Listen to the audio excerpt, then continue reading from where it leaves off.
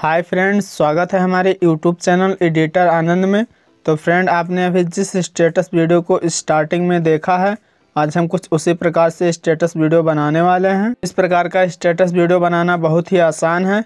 बस आपको वीडियो को एंड तक देखना है ताकि आप स्टेप बाय स्टेप समझ पाएँ कि वीडियो को कैसे एडिट करना है। ऐसे स्टेटस बनाने के लिए हमें एक एप्लीकेशन चाहिए जिसका नाम है कैन मास्टर तो उसका लिंक आपको वीडियो के डिस्क्रिप्शन में मिल जाएगा। आप वहाँ से डाउनलोड कर सकते हैं। तो चलिए फ्रेंड वीडियो को शुरू करते शुरू करने से पहले फ्रेंड आप हमारे चैनल पर नए हो तो हमारे चैनल को सब्सक्राइब करो और साथ में बेल आइकन को प्रेस करो ताकि जब मैं कोई ऐसी इंटरेस्टिंग वीडियो बनाऊँ तो उसकी नोटिफिकेशन सबसे पहले आप तक पहुँचे। गाइज़ हम अपने कैन मास्टर एप्लीकेशन में आ गए हैं। अब यहाँ से आपको प्लस के आइकन पर क्लिक करना है।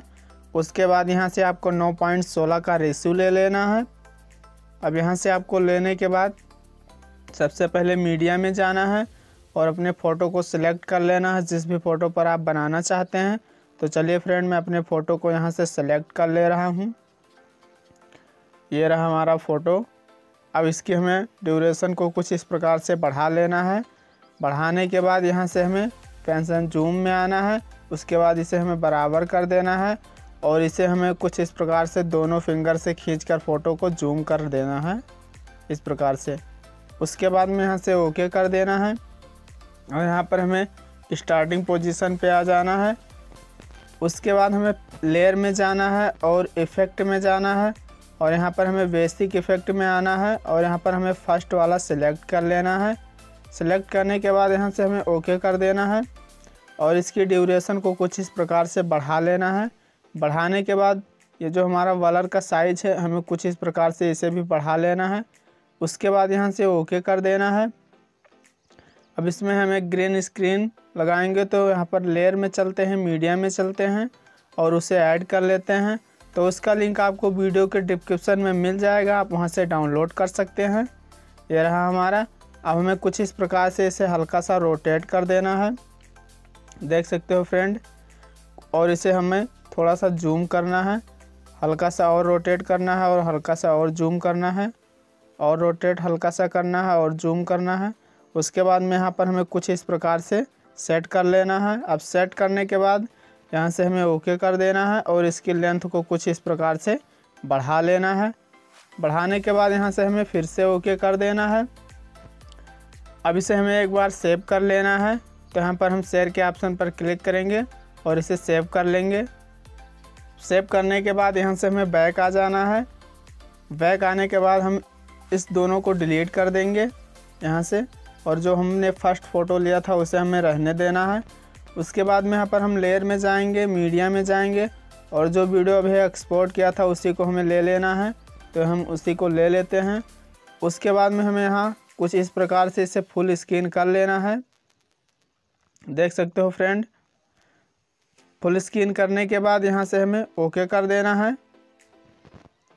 उसके बाद में यहाँ पर हमें इस फ़ोटो पर क्लिक करना है और यहाँ पर थ्री डॉट पर क्लिक करना है और डुप्लीकेट लेयर बना लेना है। बनाने के बाद इस फ़ोटो को हम थोड़ा सा कुछ इस प्रकार से रोटेट करेंगे और थोड़ा सा फ़ोटो को जूम करेंगे। जूम करने के बाद कुछ इस प्रकार से रख देना है। रखने के बाद यहाँ पर थ्री डॉट पर क्लिक करना है। और इसे सेंड टू बैक कर देना है। उसके बाद में हम यहाँ पर वीडियो को सिलेक्ट करेंगे। सिलेक्ट करने के बाद यहाँ पर हमें क्रोमा की में आना है और इसे हमें इनेबल कर देना है और अपने हिसाब से कुछ इसको हमें एडजस्ट कर लेना है। तो देख सकते हो फ्रेंड उसके बाद में यहाँ पर हम फ़ोटो पर क्लिक करेंगे और फ़ोटो को भी अपने हिसाब से एडजस्ट कर लेते हैं। कुछ इस प्रकार से। देख सकते हो फ्रेंड अब एडजस्ट करने के बाद यहाँ से ओके कर देना है। उसके बाद यहाँ पर हम जाएँगे लेयर में जाएँगे और टैक्स में जाएँगे और यहाँ से हम कुछ भी लिख लेते हैं। तो यहाँ से मैं लिख ले रहा हूँ फेल दी म्यूज़िक आप जो चाहें वो लिख सकते हैं। ये आपके ऊपर डिपेंड है। तो यहाँ पर हम फेल दी म्यूज़िक लिख के ओके कर लेते हैं। और यहाँ पर हम इसकी फ़ॉन्ट के स्टाइल में जाएँगे और ये वाला फ़ॉन्ट ले लेते हैं। उसके बाद यहाँ से ओके कर देते हैं। और हमें कुछ इस प्रकार से इसे जूम करके यहाँ पर ऊपर के साइड में कुछ इस प्रकार से सेट कर देना है। अब सेट करने के बाद यहाँ पर हमें इसकी लेंथ को कुछ इस प्रकार से बढ़ा लेना है। बढ़ाने के बाद यहाँ से हमें ओके कर देना है। अब इसमें हमें एक टेम्पलेट ऐड करना है तो हम लेयर में चलेंगे, मीडिया में चलेंगे और अपने टेम्पलेट को ऐड कर लेते हैं। तो इसका लिंक आपको वीडियो के डिस्क्रिप्शन में मिल जाएगा, आप वहाँ से डाउनलोड कर सकते हैं। तो यह रहा मेरा टेम्पलेट। अब इसे हमें कुछ इस प्रकार से फुल स्क्रीन करना है। करने के बाद यहाँ से हमें बैक आना है और यहाँ पर नीचे के साइड में जाना है। तो यहाँ पर हमें ब्लेंडिंग का ऑप्शन दिख जाएगा। उसमें आने के बाद यहाँ से हमें स्कैन कर देना है। स्किन करने के बाद यहाँ से ओके कर देना है। अब इसे हम आपको थोड़ा सा प्ले कर कर दिखा दे रहे हैं।